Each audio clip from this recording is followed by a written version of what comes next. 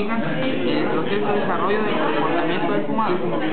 O sea, mira, primero la, la persona, la mujer, no quería fumar. No, pues no, o sea, ella, la historia de ella era como que no quería empezar a fumar y después por acercarse a los demás. Y para no parecer una bolsa. Para ser menos, para... para, para no ser como la del grupo, porque el típico amigo que fuma y toma y no quiere ser este, pues, el. Empezó así hasta que se hizo adicta al cigarro. ¿Alguien más?